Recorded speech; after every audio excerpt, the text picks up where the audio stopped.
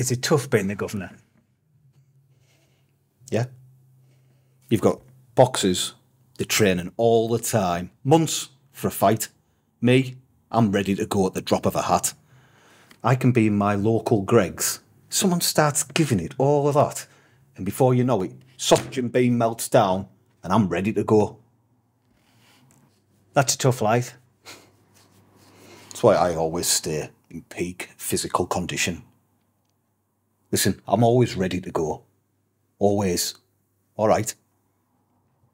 What is the governor title? Basically, I'm the hardest person in the UK on them cobbles. Do you get much female attention? Put it this way I've had to replace that suspension on my caravan now three times. Do women mind the fighting? Listen, women love walking around with King Kong on their arm. Makes them feel safe. What was the recent conviction for? Yeah, it was nothing really. My uh, my ex said I was just being that little bit controlling. Why? Tracking devices on a car, phone, called all the numbers in a phone book. I even punched the Amazon delivery guy. He was taking a photo of a parcel. I thought it was of her. So, yeah, I mean, nothing really. You ever been defeated?